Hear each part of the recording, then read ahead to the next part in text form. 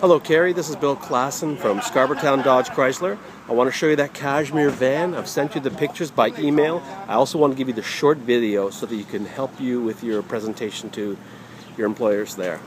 The highlight of this van, Carrie, is, of course, you may already know, it's called the stow and go seating. Right now, I'm not sure if the shade allows, but one seat is down, it's folded down, the other one is up. What this allows you to do is have the flexibility to have cargo here or passengers. The headrests come up, and without changing the camera off and on, and I'm doing this with one hand, you can put the seats completely flat. Second row is a bench seat, which does recline with this handle right here. It goes down forward, comes out, easy out roller seat. You also have the storage compartment here. On the front seat, you have tilt telescopic steering.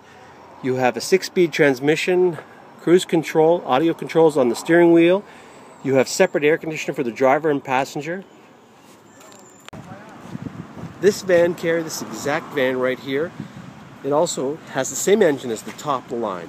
It's a 3.6 liter Pentastar engine, giving you 273 horsepower. Very good fuel economy. In fact, Environment Canada rates this at 36 miles per gallon on average on the highway. Carrie, again, this is Bill Klass from Scarborough Town Dodge. Thank you for the opportunity to earn your business.